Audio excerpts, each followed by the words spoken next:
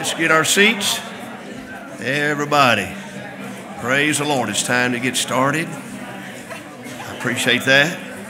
It's wonderful to be in church. Amen. Wonderful to be in the house of God. What a blessing. Good to have you here tonight. I tell you one thing.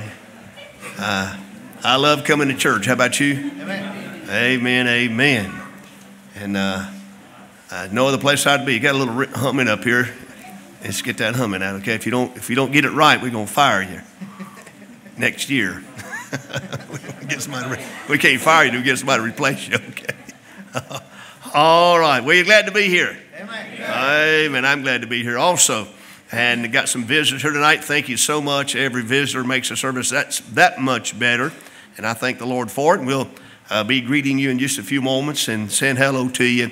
And uh, we're just glad to have you here. Trust that the Lord will speak to your heart tonight and speak to every heart here. And we are in the prayer room praying a few moments ago. I prayed, Lord, I pray this every time. Lord, uh, bind Satan. Don't let him have any influence in the service. If he wants to interrupt, dear God, you interrupt his interruption. Amen. And Lord, uh, there are going to be folks here tonight that's got all kind of issues in their life, all kinds of issues, all kind of situations and that nobody knows about but them and God. I'm glad that God knows about it.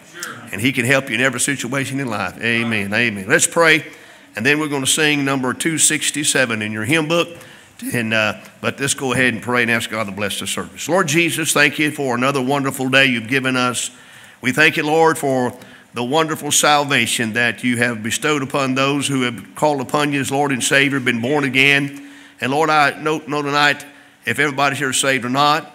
Lord, I believe most of them are, and but you know, and they know. And so, God, for somebody in the bill tonight that's never been born again, never been saved, I pray, Holy Spirit, you'll prick their heart, convict them, draw them to yourself. And Lord, this will be the night, this will be the time they'll come to the saving knowledge of Jesus Christ. And I pray, Holy Spirit, that you'll help those who are saved.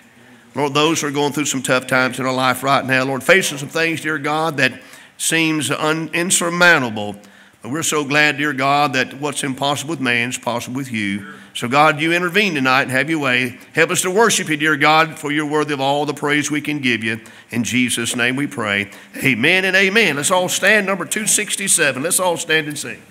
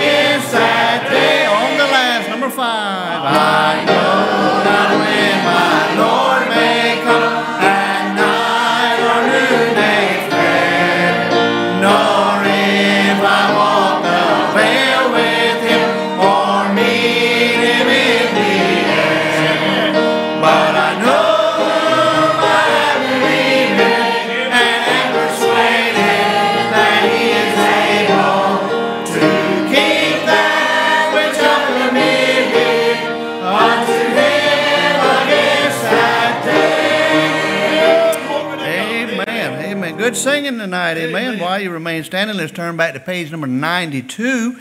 Page number 92. I'm glad that one day we're going to tour that city, amen. Touring that city.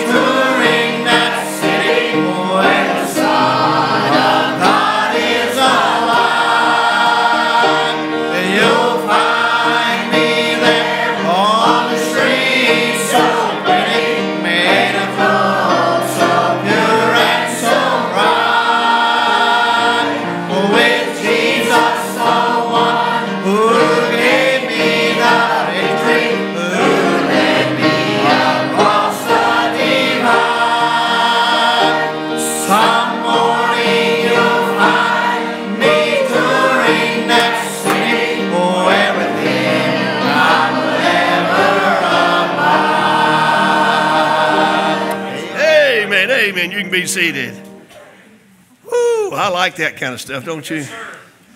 And uh, I don't know if we're going to need a tour up there. We're going to be there a long time. And I don't know if we'll need a tour. But we're going to be, we're going to be what we aren't now. No heartache, no sorrow. We're going to be like the Lord, glorified body. Don't that, don't that excite you to know that you're saved? What's waiting on you across the divide? And uh, so I like what the preacher said last night. I've said it, you've said it many times to be absent from the body, is to be present with the Lord. And it won't take, it won't take a week to get there either. Get there in a moment, a twinkling of an eye. Amen. It's good having you tonight. Appreciate you visitors here. And some I recognize, some I hadn't met before. Lady over here, just met her. It's good having you here. What a blessing it is. And then over here, we got some more visitors. Uh, got the preacher here again. How you doing, preacher? Hey, you doing okay? Amen. Can you talk? Okay, all right. So I don't want to know. I think so. You got an amen in you? Uh, and he's a good preacher too, eh? Good having Brother Jerome back. Amen. Back here in the back back's my barber. It keeps my hair. This light makes my hair glow. You like that? Makes your haircut look good. All right. It's good having Brother Jonathan Hoover here. Brother Jonathan's, how you doing, brother? I tell you what, uh, got a sweet spirit. I love, I love Brother Jonathan. I knew his dad real well, and uh, Brother, Brother Hilton Hoover and his mother. And uh, in my opinion, he's got the same spirit they had. And uh, I appreciate that, Brother Jonathan. Matter of fact, I was up there this morning at your place. You know that? Had to get my tires rotated, oil changed, all that kind of stuff, and, and did a good job. Amen. And uh, so I appreciate you for being here tonight. It really blesses my heart. Other visitors are here. Thank you for being with us. I thank the Lord. Going through Thursday night, each night at 7 o'clock. Hope you'll be here tomorrow night now. Uh, each month we have a, a, monthly birthday supper, and we'll have it tomorrow night. And uh, if you don't have a church home or looking for a church, you come out and be with us at 5.30. We'll meet in the dining hall, have a good meal, good time of fellowship. Then we'll meet here at 7 for uh, the revival services, and then again on Thursday at 7 o'clock. Amen. Wasn't that some good preaching last night? Matter that's great preaching last night. And I told him, I told him Sunday, brother, I said, no, brother Cody is not a speaker. You hear people say, well, come here. He, this guy is a great speaker. Uh, and, I, and, that's nothing wrong with that. But uh, I like preaching. Amen. I like preaching. And so, and uh, uh, Bible talks about teachers with itching ears. And you get to preaching, I'll take care of that itching, all right. Amen. All right, we do have restrooms right down the hallway here. Uh, right before you get to the end of the hallway, the men's are right there. Right in, go in the hallway on the right, it's the ladies' restroom, and to the left is a nursery. And uh, so they're there. And uh, but anyway, just let God speak to your heart tonight. We're sure glad to have you. Right now, the choir's to sing a couple of songs. I hope it'll bless your heart.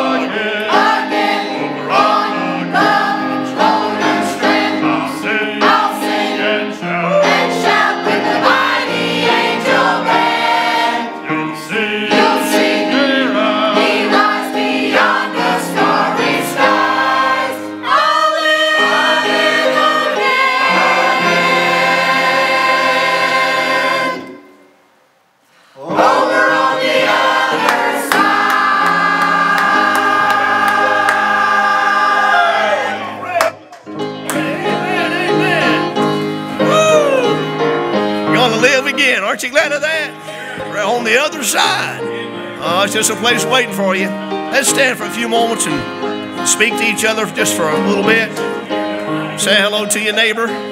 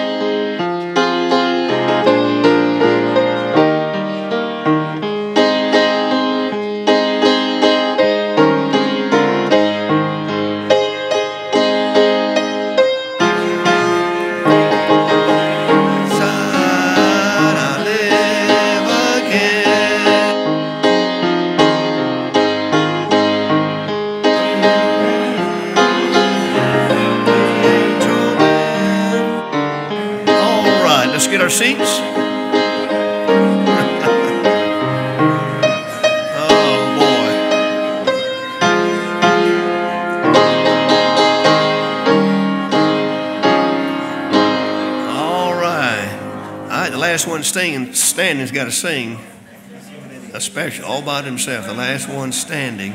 I'm looking, I'm looking. Okay. Got, still got that ringing up here, Chris. All right, last one standing. Oh, Miss Nancy.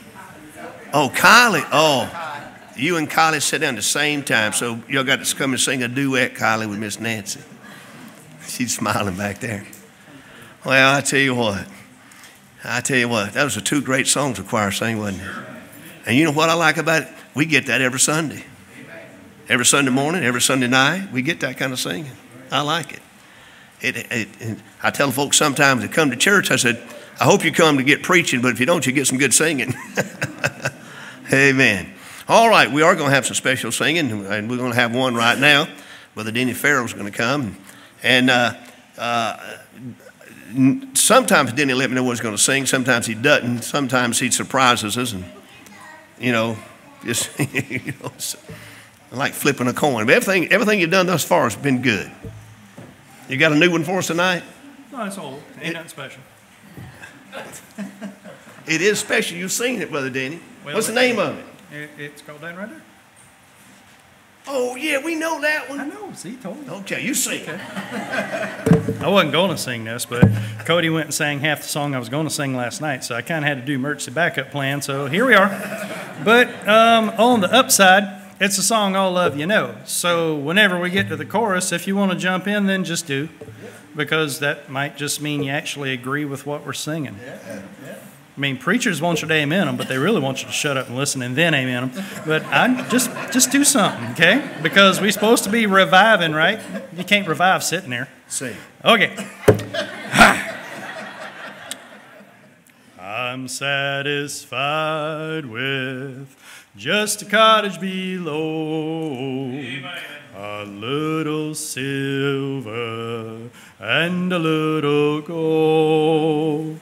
But in that city where the ransomed will shine, I want a gold one, that silver line.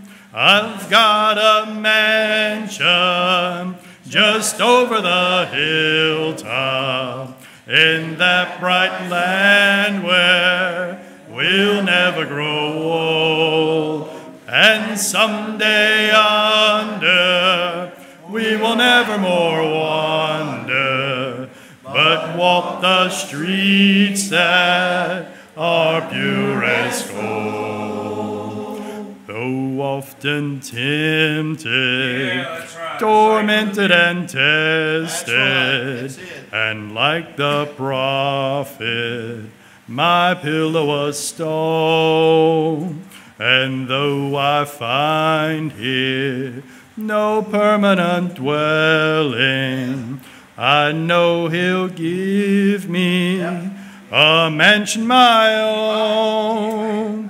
I've got a mansion just over the hilltop in that bright land where we'll never grow old. And someday under we will never more wander, but walk the streets that are pure as gold. Don't think me poor or deserted or lonely. I'm not discouraged. I'm heaven bound. I'm just a pilgrim in search of a city. I want a mansion, a harp and a crown. I've got a mansion just over the hilltop in that bright land where we'll never grow old. And someday under we will never more wander, but walk those streets that are pure as gold.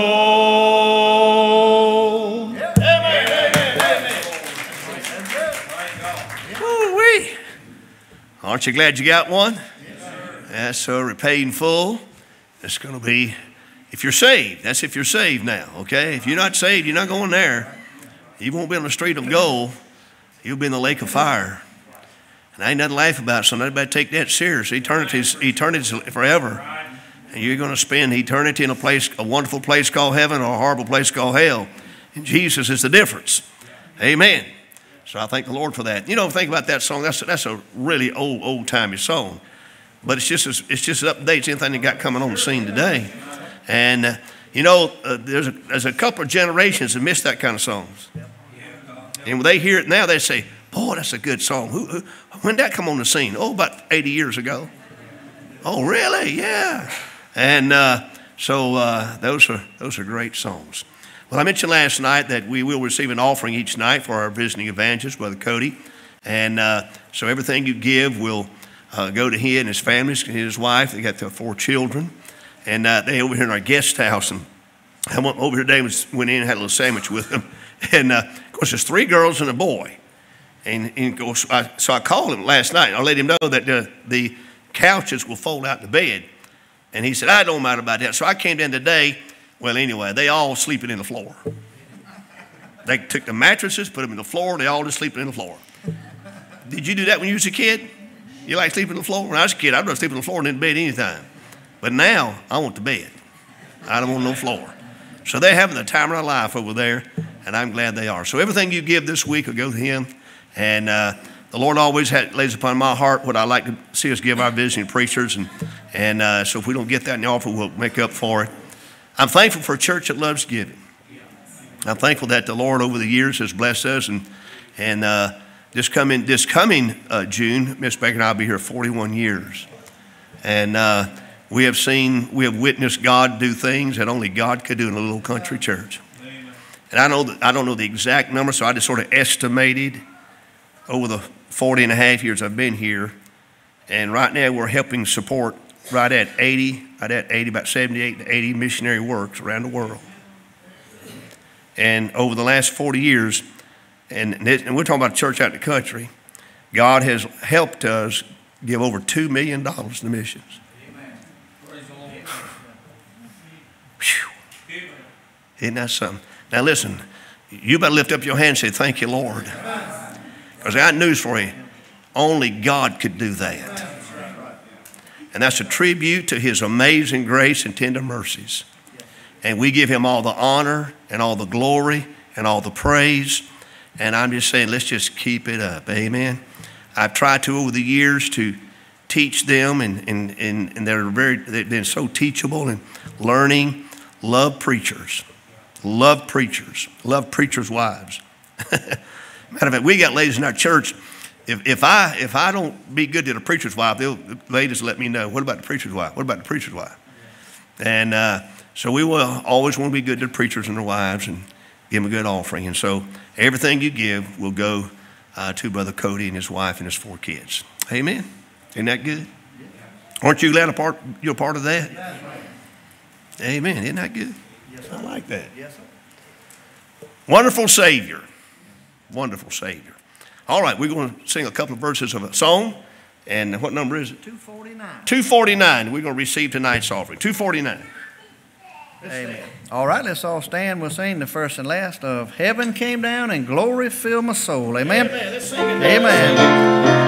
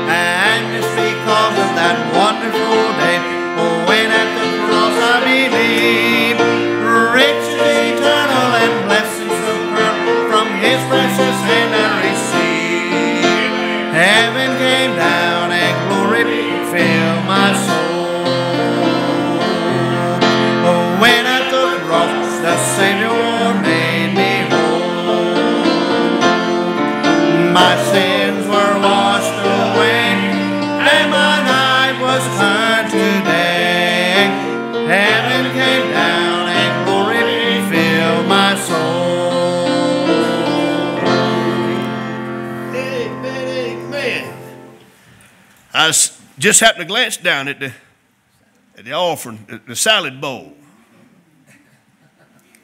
We had two of them. And uh, we've had several folks over the years want to buy new offering plates and, you know, those pretty shiny kind ones. That, and that's okay. I said, no, let's keep these. You imagine how, many, how much has come through these two little plates? over the years. A lot of bread, a lot of manna from heaven come through here over the years. And uh, so I tell you what, eh, isn't that amazing? I was thinking about when we first started with missions. First missionary we took on gave him $15 a month. And we were excited that we had a missionary we could help with $15 a month. he might not have been too excited. We was thrilled. Everybody gave a nickel or something like that. And then we got this and got that. And so over the years, it's just sort of climbed up there. And so we, we're, we're just, it's just a trusted vessel. Brother Rick Parker, it's good having you, preacher. Thank you for coming tonight. And uh, would you pray and ask God to bless the offering? Our Father, God, tonight it has been a joy already to be in the house of Yes, Lord. Yes. What our ears have heard and our hearts have felt. Yes, Lord. We ask you to bless this offering. Yes, God. Be Yes, Lord. Yes. Keep the heart safe, sinners help save. Yes. Amen, amen, do,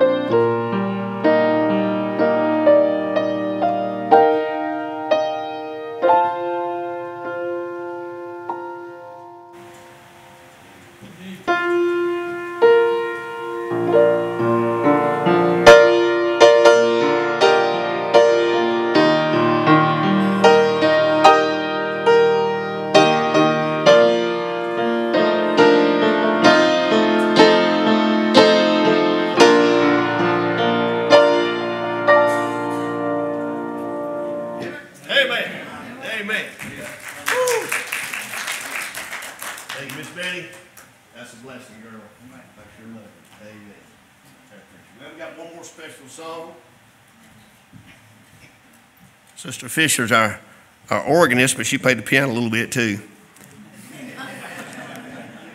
Our organist is not feeling well tonight. Couldn't, I mean, our pianist is not feeling well. Couldn't be here tonight, so she swapped over. And uh, so I'm glad she can do both. Amen. Thank the Lord for that. Miss Baker's going to come now right before preaching and uh, sing for us. She's going to also play the piano. I don't know why she didn't ask me to help her sing this song, but anyway. Amen. Y'all pray for her, okay?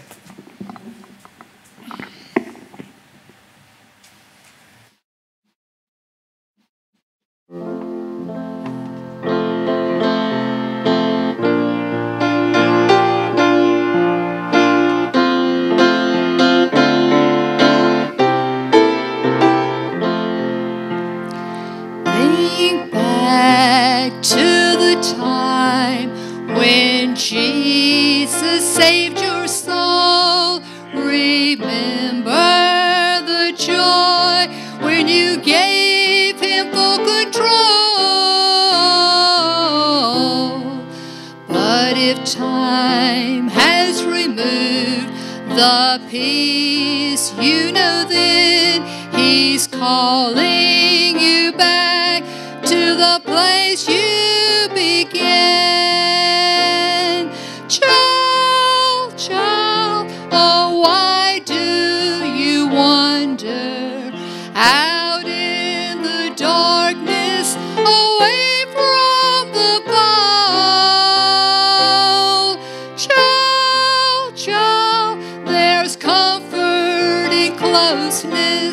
so walk just as close as you can. Well, I know I'm redeemed, cause I've been to Calvary. Though sometimes I falter and fail His will to see. But forgiveness is mine, in Him I now rejoice, cause I'm one of His sheep, and His sheep know His voice. Child, child, oh, why do you wander out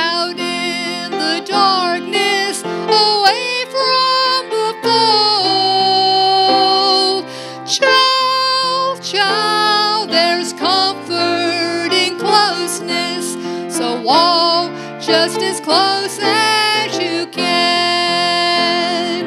Child, child, there's comfort in closeness, so walk just as close as you can.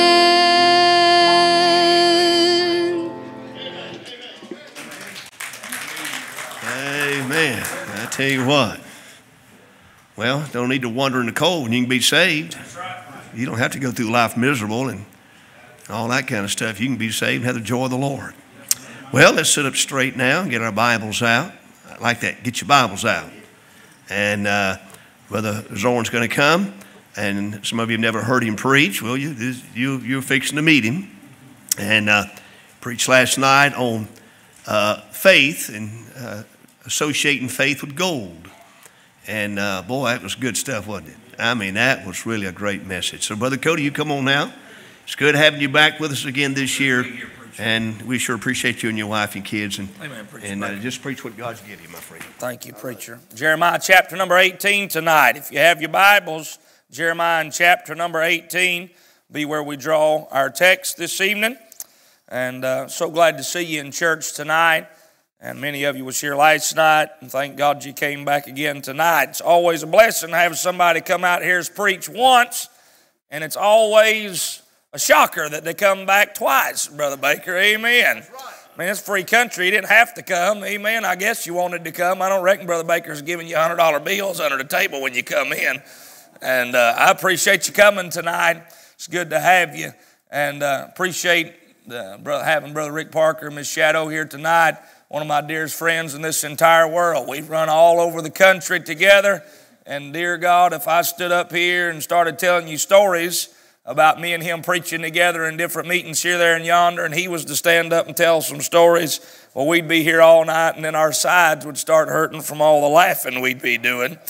And uh, we've seen some things and been to some places, and uh, but through it all, the Lord's been good, and uh, and it's good to have friends. Amen. It's good to have friends. There, there, I, uh, there ain't nothing I wouldn't do for Brother Rick Parker, and there's nothing Brother Parker wouldn't do for me, so we just go around doing nothing for each other. Amen. Praise God, that's right. but it's good to have friends. Amen. We're glad that they're here, and I'm glad that you all are here too. And uh, I know some of you worked all day long, come some come straight from work or ran straight to the house and come. That blesses my heart blesses my heart. Don't bother me a bit to have you come in work clothes. Amen. Right. That just tickles me to death that you're here. You don't got to be, right. and uh, that you come. Blesses my heart. Thank you so much, visitors that are here. We're glad that you came. Jeremiah chapter number 18 tonight. Thank you so much, choir, for the good singing and the special singing and the special playing. Man, last night and tonight, the choir just did a jam up job, and I appreciate that. I, um, I have undertaken leading the choir uh, at the church where God's put us at now.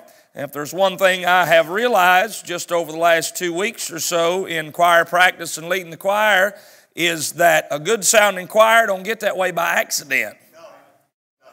Uh, it, it takes time and preparation and practice and a passion from the people that's doing it. So uh, I appreciate the time that you've put into it. I know Sunday afternoons for a choir gets real short because you have to meet and practice and things of that nature. I appreciate all that you're doing there. It means a lot, I know, to the pastor uh, to have something like that before he gets up to preach. I've preached before bad singing before, and uh, it's rough. It's rough. Amen. Have to yank something out of the ditch when it's gone astray. Uh, it, it is. It's tough to have to get her out of the ditch, man. It's, uh, I only know one man can resurrect the dead, and there's been some times after the singing was over, I was convinced he wasn't there. Amen. And, and I couldn't bring him back to life. And so it's good to come somewhere where you don't got to resurrect the dead after the singing's done. People's charged up, ready for preaching. And uh, thank you so much for that tonight. Jeremiah chapter 18, I want to begin reading in verse number 7. We'll read down through verse number 12 tonight. If you found your place with me in your Bible, somebody say amen. amen. Those of you that ain't found your place, we're going to go ahead and read. You catch up in a little bit. Verse number 7, Jeremiah chapter 18. The Lord said, At one instant I shall speak concerning a nation and concerning a kingdom to pluck up and to pull down and to destroy it. If that nation against whom I have pronounced turn from their evil, I will repent of the evil that I thought to do unto them. Those two verses ought to give great consolation to us as Americans tonight. That if we'll turn our face toward God and make our ways and our doings good, that God will repent of the judgment that He would send our way. I still believe our children can see a measure of revival. I still believe our country can see God do something. If National revival may never come, but I believe we can see pockets of revival here, there, and yonder if we'll apply the Bible recipe to our lives and to our homes, to our churches. Verse 9 the Lord said, At what instant I shall speak concerning a nation and concerning a kingdom to build and to plant it. If it do evil in my sight, that it obey not my voice, then I will repent of the good wherewith I said I would benefit them. Now therefore go to, speak to the men of Judah and to the inhabitants of Jerusalem, saying, Thus saith the Lord, Behold, I frame evil against you and devise a device against you. Return ye now, everyone, from his evil way, and make your ways and your doings good. And I want you to notice Israel's response to God's merciful measures to restore them, to revive them, to reinstate them, to give them a blessing in their life. Notice what they say to God when He offers them grace, when He outstretches His mighty arm towards them. And they said, watch these four words tonight there is no hope. But we will walk after our own devices, and we will everyone do the imagination of his evil heart. I, am interested in the first part of verse 12 where God gives them an opportunity to repent, God gives them an opportunity for revival. And God's people, Israel, looked straight at God and straight at his messenger, and this is what they say Preacher, there's no hope for us. God, there's just no hope for us. We have gone too far. We've messed up too much. We've slid so far backwards. We're down too low. There is no hope. I want to use this text tonight, and I'm preaching on this thought. I'm preaching on there is always hope. There is always hope tonight. Let's pray. Father, we thank you for the good, sweet things our ears have heard and our hearts have already experienced up to this point in the service. The singing's been good, and the fellowship of God's people's been great, and it's just been a blessing to come through the doors and see you folk gathered around, see visitors in the building, dear friends here, there, and yonder. God, I'm privileged to be here and to be among them. I pray tonight that you'd bless this place, smile upon us for a few minutes, the sweet spirit that we've already already felt, let it linger with us now for the next few moments as I try and preach the Word of God. I, I'm leaning heavy on the everlasting arms. I need your touch tonight. I realize I can't get across the message. I am not sufficient to accomplish the task of the hour, but you are. And I've seen you help me, and I've seen you work before. So I'm asking you to do it one more time, Lord, and we'll thank you and we'll praise you and we'll give you the glory for it. In Jesus' name we pray.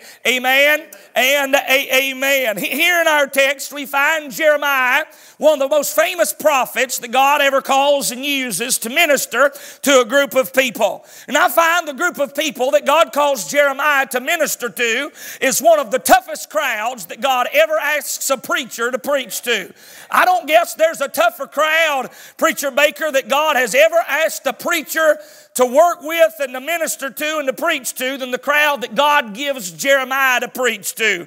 Uh, th- this crowd, let me say several things about this crowd on the way to the message. This crowd is a hard crowd. They are, they're a hardened people tonight. God calls Jeremiah in chapter 1, you read it for yourself, but in chapter number 1, God calls Jeremiah out and he said, I've set you apart, ordained you to be a, a, a prophet among the nations. I want you to preach my word. And Jeremiah said, But Lord, I'm just a child. I can't speak and I can't do what you've asked me to do. And he said, Jeremiah, I formed you in the belly. I know what you are. You just go open your mouth and I'm going to help you. And I imagine Jeremiah is thinking to himself, Brother Parker, well, Lord, uh, if I'm going to have to go do something maybe I don't even necessarily want to do and preach to a crowd that maybe, maybe necessarily I don't even want to preach to, surely God's going to give me a real good crowd to preach to. I mean, when I preach, they going to smile and nod their head and say amen. They gonna pat me on the back on the way out the door and say, "Oh, we love you, preacher." I mean, you know, they gonna say how what a wonderful message it was, and I mean, they just gonna be a real good crowd. But God lets Jeremiah know real quick that ain't gonna be your crowd, Jeremiah. He says this about the crowd in chapter one. He says, "Be not dismayed at their faces." Uh, uh in other words, don't be scared when you look at their faces. It's gonna be a scary looking group because when you preach, they ain't gonna smile or nod their head this way or even say say amen. They're going to frown and cross their arms and scowl at you, stick their tongue out while you preach and shake their head no this way and poke their ears. And I mean, they're going to just not give a flip about what you got to say, Jeremiah. On the way out the door, they're going to criticize you. They're going to hate your guts. Going to be a real hard crowd you got to deal with. I'll be honest with you, in the years that I've preached around this country and God's let me preach, I preached some real tough crowd before. I, I mean, some folks, I'll be honest with you, you, by the time the week was over, I was glad to be gone. Amen. I mean, you know, they, they'd walk by you out the door and you think, dear God, I believe these folk could kill me if they could get away with it. I, I mean, I wasn't even trying to be ugly, rude, or hateful. They just didn't like anything from God. I'll be honest with you, the crowd I preached to up there, if any time I ever think that I've got a hard crowd, I'm just going to read Jeremiah and say, Lord, thank you for my crowd. That old boy had a tough crowd. I thank you for the crowd I get to preach to. Amen. May I say this? We're living in that kind of generation. We're living in a hard generation. Would you agree with me that even some of you that's been in church 25, 30 years, 40 years, you, you have seen the evolution of a generation without God that has become hardened to the gospel, hardened to preaching, hardened to singing. Used to be a preacher get up, preach on hell, and folk would weep and cry, and conviction would set in. Folk that was saved, they, they'd go pray for their family and cry over them. And folk that was lost and get under conviction, whether they got saved or not, you could see an evident manifestation of God working in their life. But Preacher Baker, it ain't like that no more. I mean, I can preach in youth camps to kids that are 14, 15, 16 years old. And it's like you preaching to hardened criminals down in the penitentiary somewhere. Preach on hell, and they cross their arms and get mad and sit there and look at you and say, You can't scare me, preacher. I've heard worse than that this week on the TV. I've watched worse than that on the internet. I mean, we living in a hard generation, brother. We're living in a generation that can't respond no more. I mean, I mean, they're gone. I don't know where they are, but they're blanked out. I mean, you, you can't tell what's going on in their mind or in their heart. They're just a, a hard generation. That's what Jeremiah's up against. It's not only a hard generation. Let me say this it is a heedless generation. They're not only a hardened people, they are a heedless people. Jeremiah preaches, uh, Brother Raymond Jeremiah preaches for 40 years to this same crowd and he don't see revival break out he don't see buildings built he doesn't see converts made after preaching for 40 years you know how many folk jeremiah's seen get right with god I mean, how discouraging would that be, preacher, that you and Sister Baker give 40 years of your life to minister in this little place beside the road? And if you was to stand up tonight and say, I've been here 40 years and I've never seen a soul get saved. My goodness, how discouraging that be. I've been here 40 years and I've never seen anybody get right. I've been here 40 years and I've never seen anybody change. Good gracious, what a discouraging ministry that would be. I've been here 40 years and I never saw a building built. I never saw a life change. I never saw ministries built and go forth and missionaries supported. Man, that'd be highly discouraging. That's Jeremiah's lot, friend. That's the crowd he preaches to. 40 years worth of preaching and nobody gets right. At the end of 40 years, he finds this out. People's going to do exactly what they want to do, regardless of who's doing the preaching. You know what I found out with some people? It don't matter who's preaching. I mean, you can get the best flaming evangelist from wherever you want to find them from, stick them in the pulpit. You can go find the greatest orator you can find, stick them in the pulpit. I mean, if Peter, James, John, John the Baptist, I mean, Brother Apostle Paul and Jesus Christ Himself was to stand up and preach to some people, they ain't going to get right. They ain't going to do what's been said. They going to keep doing exactly what they want to do tonight. It's a hardened people. It's a heedless people. But here's the message tonight, and this is what broke my heart. They are a hopeless people. They hopeless. I thought to myself, Brother Morris, maybe the reason, maybe the reason why they were heedless, maybe the reason why they were hardened is because they were hopeless. Maybe the reason why they got so hard, maybe the reason why they got to the place where they didn't care what the Bible said or what God said is because they just thought there wasn't no hope for them. Said, what's the point in going to church? What's the point in listening to the preacher? What's the point in going to the altar again? We've tried that in the past and nothing ever changed. Our situation's just the same. So we just gonna walk after our own devices. We just gonna do exactly what we want to do. May I say, if you walked into church tonight and you're in that same kind of case and you say, Preacher, they just ain't no hope for my situation. There's no hope for my family. There's no hope for me. There's no hope for my daughter. There's no hope for my son. There's no hope for my grandkids. There's no hope for the people I've witnessed to and prayed for. There's no hope for what's broken in my life. May I say that's a lie hatched out of hell tonight? As long as God sits on the throne, as long as Jesus still reigns, as long as the Bible is still true, there will always be hope tonight. There's not hope because I said there was. There's hope because the Bible says there is. There's hope because God's alive tonight and Jesus is on the throne. There's always hope, friend. I mean, brother, this book's a hope book from Genesis clear on to Revelation. As the colored preacher said, from generations to resolutions, there is hope tonight, friend. I mean, from beginning to end, there's just hope clear on through that Bible. I mean, when Adam and Eve had messed up in the garden and God had to kick them out, God gave hope in the form of a promise. He said, There's going to come a seed, and the serpent will bruise his heel, but he's going to bruise the serpent's head. I'm giving y'all hope. When man had messed up so bad that God said, Brother Sam, I'm going to wipe them all out, God gave hope in the form of a man named Noah and the ark of safety. God gave hope to Abraham and Sarah in the form of a son named Isaac. God gave hope to Joseph in the form of a dream down in Egypt. God gave hope to his people when they were locked up in Egypt's land uh, by Moses the deliverer. And thank God, one glorious day, uh, born in a barn in Bethlehem, uh, an angel choir said unto you's born this day in the city of David a Savior, which is Christ the Lord. Hope came in the flesh, hope born in person, and his name was Jesus tonight. There's always hope, friend.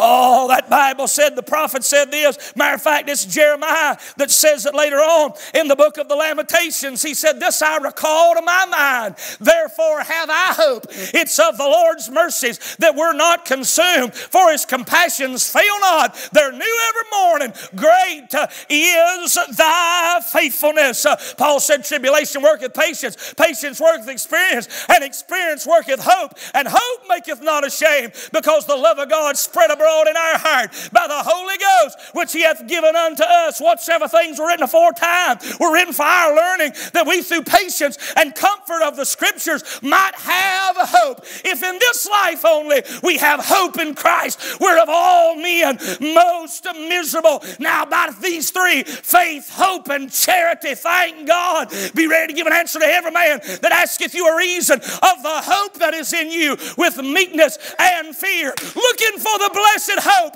and the glorious appearing of the great God and our Savior, Jesus Christ. Blessed be the God and Father of our Lord Jesus Christ, which according to his abundant mercy hath begotten us again unto a lively hope by the resurrection of Jesus Christ from the dead. I'm glad we have hope tonight. The Bible said, Christ in you, the hope of glory, in hope of eternal life, which God, who cannot lie, promised before the world began. I'm glad we serve the one that the Bible says is the God of all hope tonight. You say, Preacher, I ain't sure about that hope business. I mean, I had people before come by the door and they say, I don't believe in hope.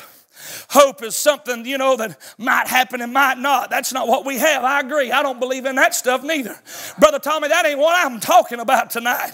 Hope in the Bible, preacher, is not a think so, maybe so. It might happen, it might not. 50 50 coin toss, chance. That is not hope in the Bible. That is not the hope I'm talking about tonight.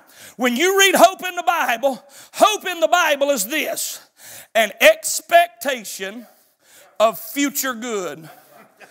Hope in the Bible is this I know something's to happen, I just don't know when it's to happen. And I sit on the edge of my seat, greatly anticipating, Brother Joe Ben, that God's going to do something big, that God's going to do something I can't do. I'm glad there is always hope tonight. You say, Preacher, you just don't know how bad it is with me. I about give up hope. Boy, don't you never give up hope. Don't ever give up hope.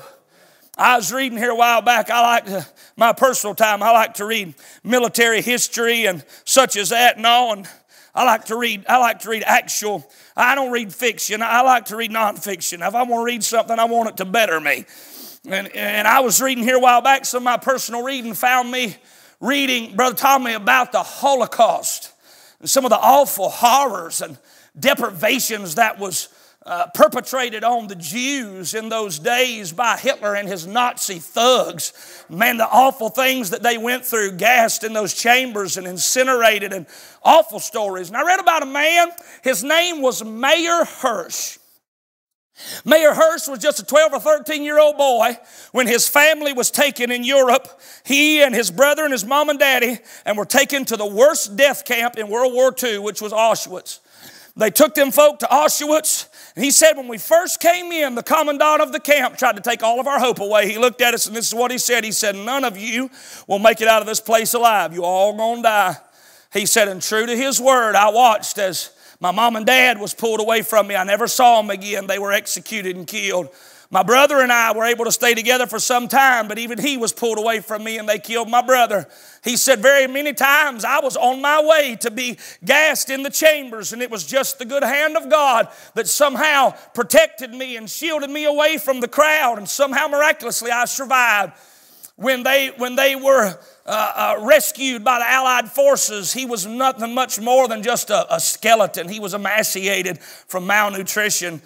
And years and years later, after this awful event, they interviewed Mayer Hirsch and they asked him, they said, Mr. Hirsch, how in the world did you survive such a harrowing, horrifying, awful event? How in the world did you make it through without just giving up? And this is what the old man said. He said, Sir, a man can go for days without food. He said, I, I know I've done it. Man can go for days and days without something to eat or even a long time without something to drink. He said this, though. He said, But, sir, a man cannot go for one minute without hope. He said, If a man ever gives up hope, he's nothing. So, what got me through in those dark times was I just held on to some hope.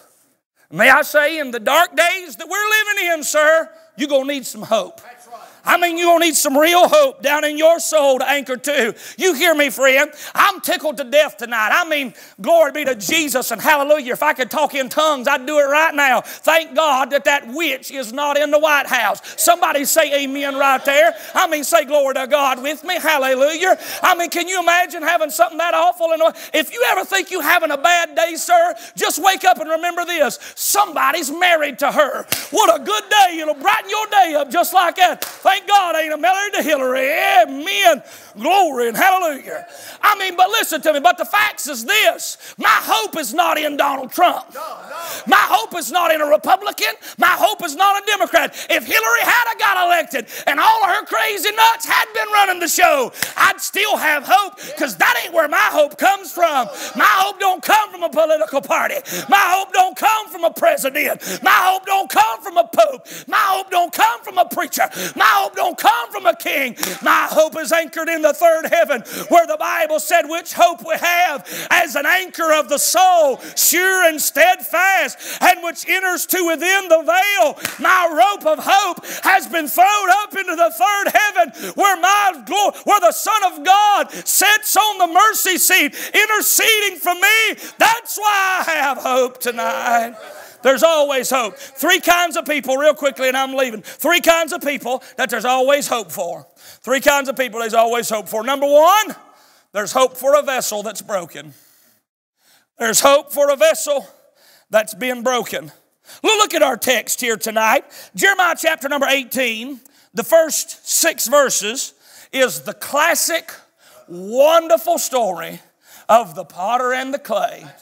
I mean, man, it's been sung about in songs and written about in poems and preached about in messages. I believe this illustration of the potter and the clay is probably the greatest illustration that God ever allowed a preacher anywhere to ever use to stick into hearts and minds. Still used today. Still goes on today. It's an amazing illustration, a visual aid of what God is trying to get across to people. Look at what God says here in verse number 2, chapter 18. Arise, go down to the potter's house. I'm going to teach you something, Jeremiah. There I will cause thee to hear my words. Then I went down to the potter's house. Behold, he wrought a work on the wheels. And the vessel that he made of clay was marred, it was broken, damaged in the hand of the potter. So he made it again, another vessel as seemed good to the potter to make it. Then the word of the Lord came to me, saying, What a message of hope. O house of Israel, cannot I do with you as this potter, saith the Lord?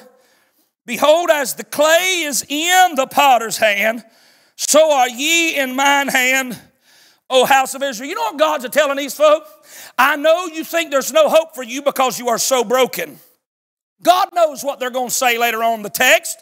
And God's getting ahead of them and telling them, I don't care how broken you think you are. I don't care how messed up the situation you may think is. I don't care how scattered to the wind all of the pieces are. I don't care how damaged life has become. This is what I want you to know, God is saying. I am the heavenly potter, and I've never met a vessel so broken. I've never met a vessel so marred. I've never met a life so damaged that I, good God Almighty, I feel like preaching, that I cannot come by and scoop up all of the pieces uh, and put them back together again uh, and fix them and use the vessel one more time for my glory and my honor. You might have walked in tonight and say, Preacher, I feel so broken. Preacher, my heart is broken in a million pieces. Preacher, my children are broken and scattered to the wind. Preacher, my family is broken. Preacher, my body is broken. Preacher, my finances are broken.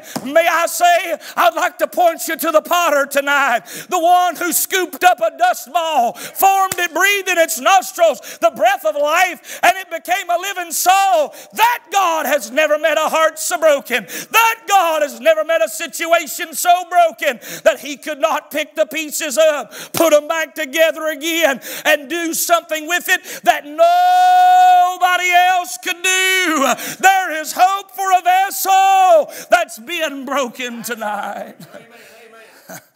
I can't take a heart that's broken, mend it over again.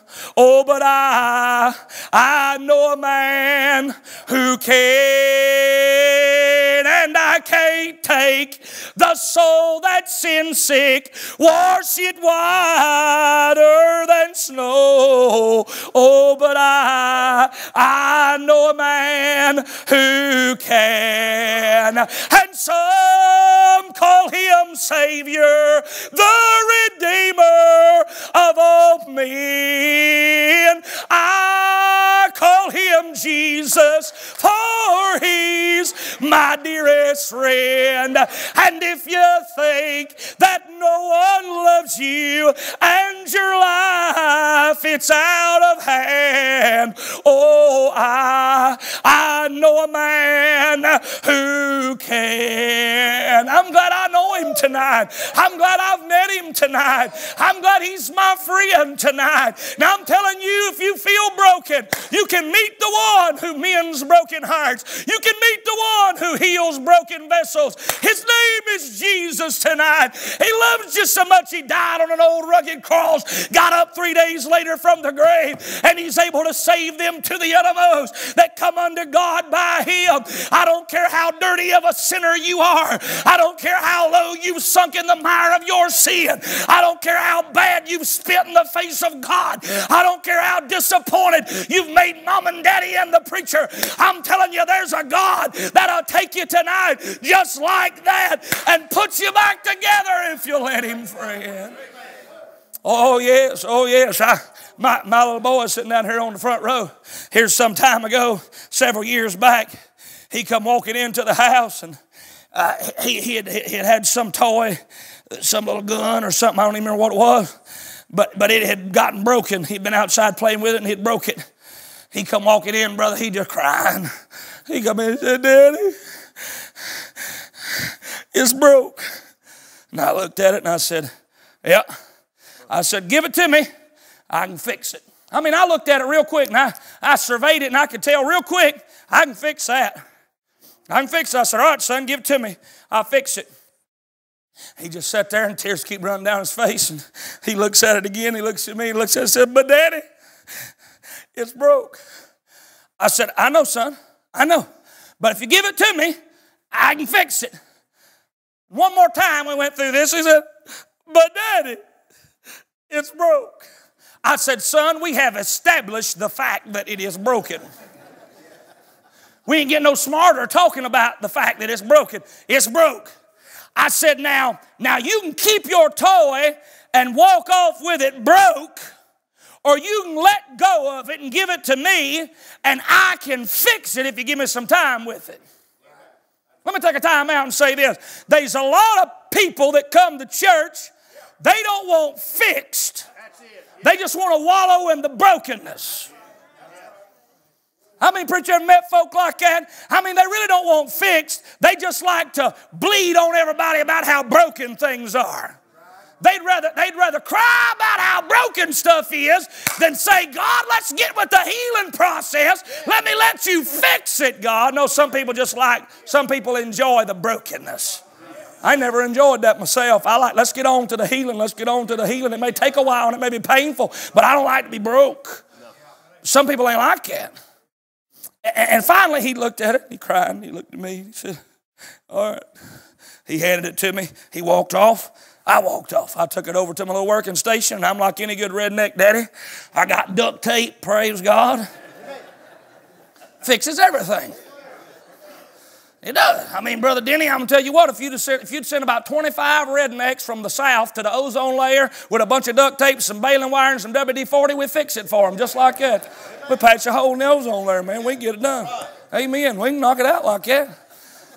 So I fixed it. I mean, I, I got it working again. The truth is, it wasn't brand new. You could tell it had been repaired, you could tell it had been broken, but somebody had fixed it, but now it's usable again. I called him back in there and he walked in, son, when he seen that toy. What once had been broken, he had broken it. But daddy took what was broken and daddy had fixed it. Oh my goodness, eyes lit up. That toy became one of his favorite toys till he got another toy. But I mean, it becomes something special to him for a little while. You say, what made it special? It was broken, but daddy fixed it. I, am not saying tonight that, that, that God fixing your brokenness, you, you won't have scars or that you won't have a remembrance of how broken things are. What I'm telling you is God mends things so they can be used again. God mends, and, may I say this the, the, the, the, the healing, the, the putting things back together, the testimony of those things makes it so precious. It makes him so precious, Brother Sam, because I look back in my own heart and in my own life. There's been places I've been broke and I could not fix it, but I brought it to God and I gave God time and time and God together fixed the broken thing in my life. And man, it makes it so precious to look back on those things and say, God did what nobody else could do. God fixed what nobody else could fix. So I encourage you tonight, you want some hope? Bring it to God. Let him fix the vessel that's been broken tonight. Secondly, not only is there hope for a vessel that's been broken, but there is hope for a victim that is bound. There is hope for a victim that is bound tonight. I don't have time to dissect all of Jeremiah chapter number 18. We, we don't have that much time this evening, but suffice it to say, Israel, God's people, are victims of their own sin. They're bound in their holding by the cords of their own iniquity. They're so bound by their sin and they think there is so little hope with God. They just tell God in verse number 12, we, we will walk after our own devices and we will everyone do the imagination of his evil heart. God, we're, we're so bound by our own sins, we don't think you can make a difference in our life. I've, know, I've known some sinners that thought there was no hope for them because of how exceedingly sinful that they were. Yeah, right. Holding by the cords of their own sin. I've known some Christians that had some sin creep up in their life and grab a hold of them. The Bible talks about that in 2 Timothy chapter number 2 and the end of the chapter. The Bible talks about Christians who have been taken captive by the devil. God's people, saved people, and yet they have allowed themselves to be taken captive and holding by Satan in some area of their life. And I've met some folk, they got so held, Brother Hodges, they thought there wasn't no hope for them no more. They thought, God, they just There's no hope for us. I, I'll be honest with you. If you sit here tonight and you've been praying for somebody for years, and you've prayed so much. You ever been there before that you've prayed for somebody so long and you pray and things don't get better, things got worse? You ever seen that happen? You say, God, I'm praying. God, I fasted over this thing. God, I brought them to an altar. I put them in my prayer closet. I read my Bible and I see them in verses of Scripture and I claim the promises. And God, I make a phone call to them and I find out they ain't getting closer from you. It seems like they're getting farther away.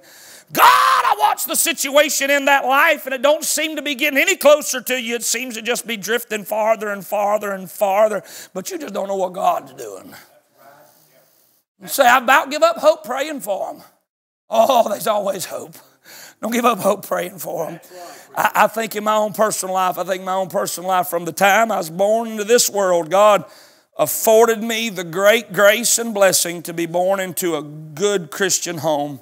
My mama got saved two years before I was born. My daddy got saved the year that I was born, earlier in the year. I grew up in a home where I never knew what it was like not to go to church, never knew what it was like to be around a mama and a daddy that throw beer bottles across the room, cuss each other out, and run off. And I, I, I, praise the Lord for that. That may not be your testimony, and I'm glad that you got a testimony and that you're here. I'm just telling you mine tonight, and I appreciate that. That's what I want my kids to grow up and know. We grew up in that, and I never remember a time from the time I come into the world that our family would pray that we would not pray for my grandma and my grandpa Baird, my mama's mama and daddy. My grandma and papa Zorn, they were saved, but they died in the early 90s when I was just a little fella. And we prayed all my life coming up for my grandma and papa Baird. Man, I'm telling you what, I, I, watched as uh, all my life coming up, we'd invite them to church and any revivals that we had at church or anything that we had at church, the play or anything me and my brother was in, we was kids, and they'd never come. And good moral people, I mean, real good moral folk, business people in the county. I mean, uh, Papa served in the military for 25 years, retired as a chief master sergeant in the Air Force. Great moral folk, but moral people don't go to heaven. No. Moral folk die and go to hell every day of the week, just like that. Saved people go to heaven. Moral people don't go to heaven. Born again people go to heaven. Those that trusted Jesus tonight, they just never saw their need for that. I remember when I got saved, as a young teenager, when I got saved, I began to get in earnest about praying for my grandma and Papa Baird. God called me to preach, and, and, and I remember the first time they ever set foot in church in my lifetime, they come to hear me preach.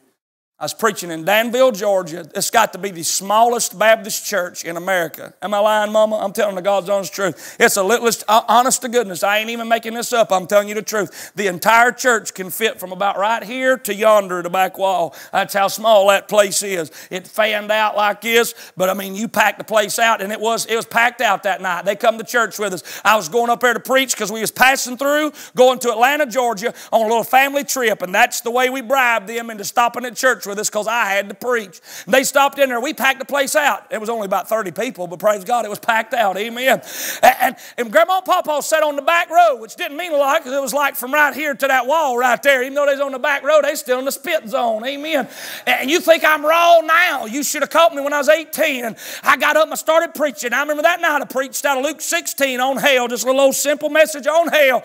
And I remember for the first time in my entire life, Brother Rick Parker, I watched as my grandma and papa in their early 70s sat there and gripped the back of a pew. And I watched as tears got to running down my papa's face. And for the first time, I said to myself, Oh, there's hope. There's hope. They didn't get right that night. But I can remember riding down the road the next day. They started asking us questions about being saved, asking me questions about the Lord. And I thought, Oh, God's doing something. God's doing something. And it wasn't just a few months later, my grandma and papa showed up at our church for revival, just happened in the back door, had no idea they was coming, hit an altar, and got born again by the grace of God, saved and born again. We'd go over to their house after that. They went and got Bibles, never had Bibles in their house. They sat down for the very first time in their life, over 70 years old, and started reading the Word of God. They'd look at me and say, What's this right here mean? I don't understand. What's that mean? For the first time in my life, I got to talk with Papa and Grandma about the Scripture Scripture and the Word of God and talking about the Lord. And to this day, if you walk in the Emmanuel Baptist Church in Lyons, Georgia, my papa and grandma sit right about over here on the edge of the pew. And every Sunday morning, when papa or when my preacher says, Let's have the ushers come forward, my papa stands up in a suit and a tie, walks down front, grabs an offering plate, plays over the offering, choir sings, he raises his hand, says, Praise the Lord, testifies. Every time I see him, I say, There's hope, there's hope. I don't care how vile a sinner you are, I don't care how far you think they've gone, I don't care how many prayers you prayed, pray over them again. There's hope for the victim that's bound tonight. There's hope, friend. There's hope. Lastly, I'm done. I've been preaching too long. Lastly, there's not only hope for a vessel that's broken, hope for a victim that's bound, but there's hope for a voice that's bitter. There's hope for a voice that has gone bitter tonight. I want you to take your Bibles and go to the right with me to chapter number 31. Come to the right, just a few chapters here to chapter number 31 of Jeremiah. There's hope for a voice that has gone bitter. And when we get to chapter 31, look at verse number 15 with me. Chapter 31, verse number 15.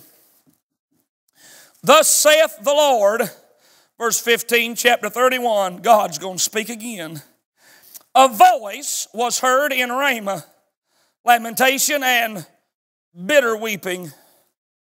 Rachel, Rahel, weeping for her children, refused to be comforted for her children because they were not. I realize, verse number 15, has prophetic implications for the day when Herod will kill thousands of children trying to kill the Christ child, trying to kill our Savior.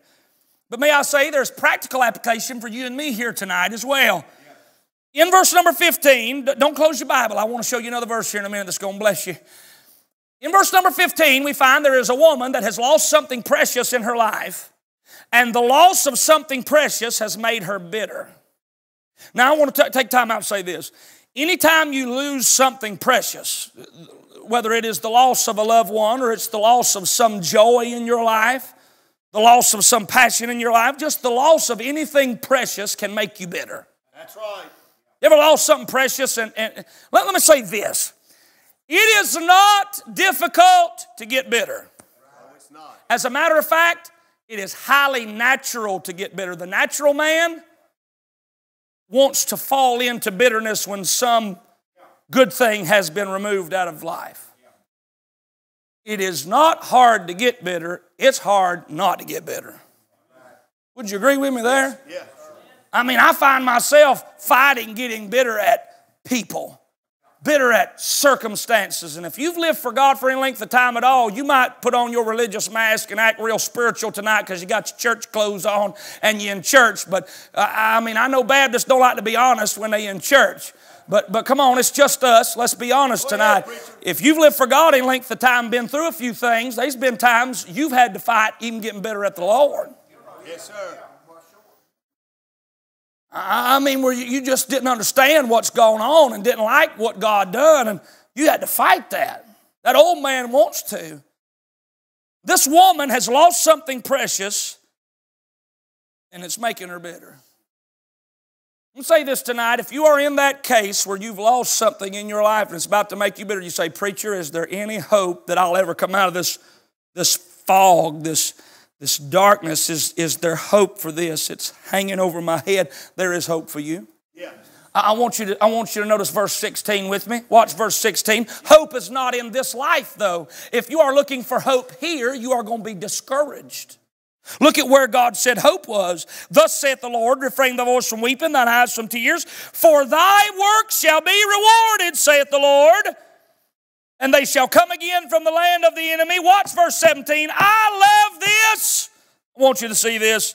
You remember what God's people said to God in chapter 18, verse 12? Remember what they said?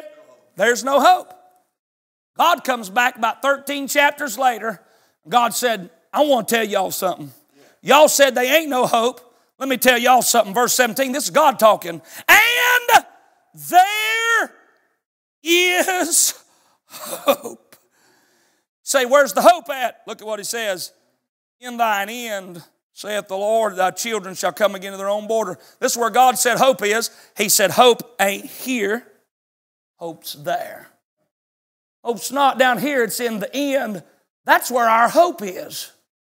We are not living for this world, we are living for another world. If you are looking for hope here, you're going to be discouraged. You know the only place you can find hope?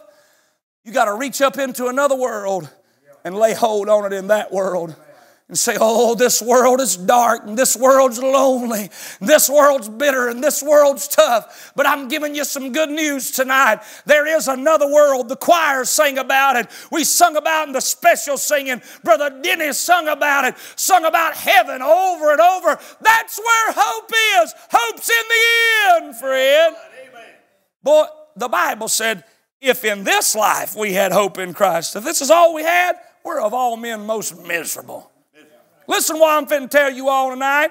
If your only hope is in your 70 or 80 year existence on planet Earth, if your only hope is in an IRA, a retirement account, a few thousand dollars in the bank, a nice house, a good car, a nice clothes, and staying relatively comfortable, if that's your only hope, you got a miserable life. That's it. You are most, you are of all men most miserable. You are a miserable creature tonight. I'm to tell you what I got that's different than that. I got hope of eternity. I've got hope of a day where we'll never say goodbye. I've got hope of a day when there'll never be another wheelchair, brother. I've got hope of a day where we won't need eyeglasses. I've got hope of a day where we won't need pacemakers and we won't need artificial hips and limbs and knees. I've got hope of a day when there'll never be no more cancer. I've got hope for a day when there'll never be another hospital. I've got hope for a day when there'll never be another wayward son, another wayward daughter. Hope's up yonder, friend. Yes, it is. Sister, would you come play something for us? You get to the piano, you can play something for us softly there if you don't mind. I'm telling you tonight, there's always hope. Yes, it is. See, I don't know where you're at, but you might have got to the place where you about give up hope. But there's always hope. I'm going to tell you this, and we're going. I was reading some time ago in the early days of submarining. There was a submarine in the early 1900s that had been commissioned by the Navy, and it was titled the USS S 4. The S 4 was doing maneuvers off the coast of the eastern seaboard up in the northeast. Before the days of sonar and things of this nature, they didn't know what was above them when they were submerging except to raise the periscope. They had missed a large fishing vessel that was crossing over their path. The USS S 4 began to come out of the water and made contact with that boat, opening up a six foot wide gap in the hull. Immediately they began to take on water, and the boat dove to the bottom of the ocean floor, almost 200 feet, trapping all of the sailors inside the S 4. They began to send rescue divers down to try and see if they could salvage the lives of those men and rescue them out of their perilous condition. Hour after hour, they began to work on the submarine, knowing that it was losing oxygen rapidly in the compartments. The men were trapped. After hours of trying to rescue them, but to no avail, they heard tapping on the inside of the hull of the vessel. Those trapped men were sending Morse code back out to the outside. One of the last messages they heard from the inside, they heard tapping after several hours, and it said this Is there any hope? Is there any hope? And they said one of them divers had the sense enough to Morse code back, and he pulled a wrench out of his pocket. And he began to knock on the hull of that vessel. And this was the message he sent back to them folk trapped in the submarine. He said this There is always hope. There is always hope. I don't know how down low you are tonight or in what kind of dark shape you're in tonight or somebody that you know is, but I wonder if we could not tune in our heart and hear the Morse code from heaven. Could we not hear the tapping of the Holy Ghost on our heart? You, you know what that sound is you've been hearing? You know what that feeling is you've been feeling in your heart? That's the Holy Ghost saying this. There's always hope. You've been knocking on heaven's door saying, God, is there any hope? God says, Oh, yeah. Always hope. Always hope. Let's all stand tonight for prayer. Father, give us hope in our soul. We are living in such hopeless days, God. I'll be honest. You turn the TV on, you read the news on the internet. You, Lord, I even hang around churches sometimes and I look on faces and I just see hopelessness. Just give up, quit. Oh, some folk hadn't quit coming to church service. They hadn't quit singing in the choir. They hadn't quit sitting on the pew, but you can look in their face and read their heart and just see giving up hope. God, tonight I pray that you would fill our souls with the hope of heaven. Remind us once again there's always that expectation of future good. Because you said there was. Not because I say there is, not because some psychiatrist said there was or some doctor, but because the doctor of heaven said there was.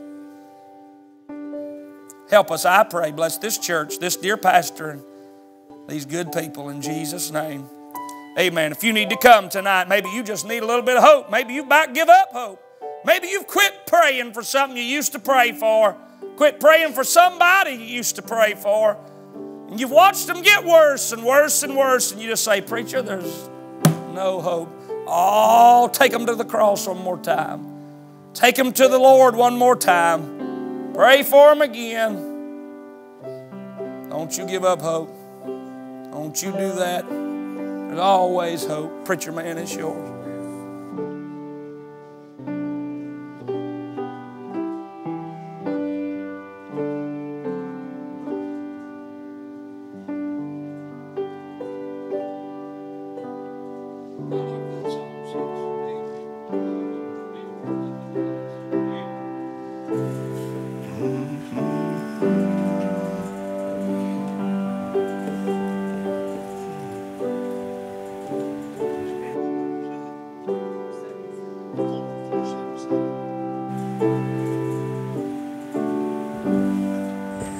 Like for you to take your songbook and turn to 477. We'll be dismissing just as we get this 477.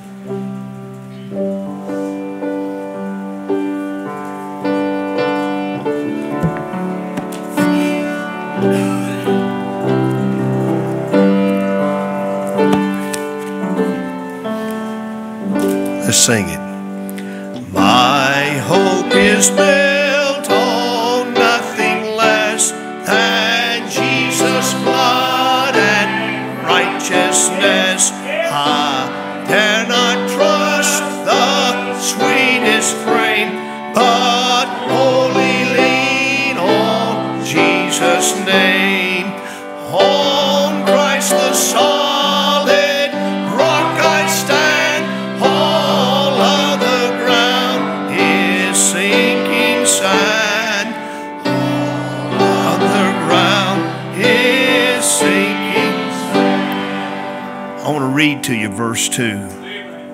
When darkness veils his lovely face, I rest on his unchanging grace.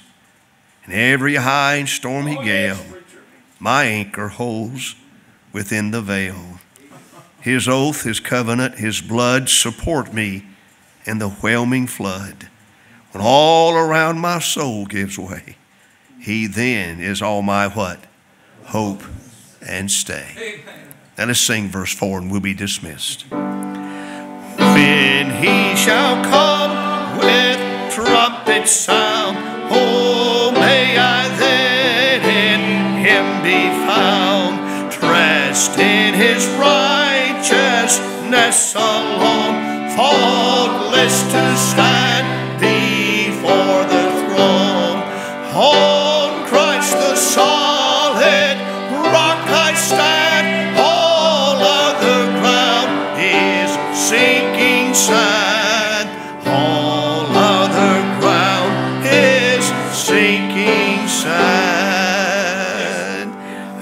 forget, tomorrow night we'll have supper at 5.30, church at 7, then Thursday at 7 also. I do appreciate again you members being here. We do have several members not here tonight for various reasons, but thank you, visitors, for coming. You have really honored us with your visit. I hope you'll come again as soon as you can. Amen. And be careful going home. It's been a good night, hasn't it? Amen. So a lot of folks go to church and they hear an hour and a half of singing and 10 minutes of preaching. Go home and say, what a good service we had. I like good singing, but I'm going to tell you, you can't beat great preaching of the Word of God. Let's pray. Lord Jesus, dismiss us now. Lord, as we go our separate ways. And Lord, uh, there's no telling how many in, in this room tonight needed this message. Lord, I pray they'll never give up. They'll always have that hope from above. I pray you'll help them get some rest tonight, Lord, for some weary soul. And Lord, there'll be one here who's not yet saved. I pray, God, before they leave the premises, they'll come back in, make their way to me or somebody and say, I need to be saved. So, Lord, we ask you now to watch over us. Help us, dear God. In Jesus' name we pray. Amen.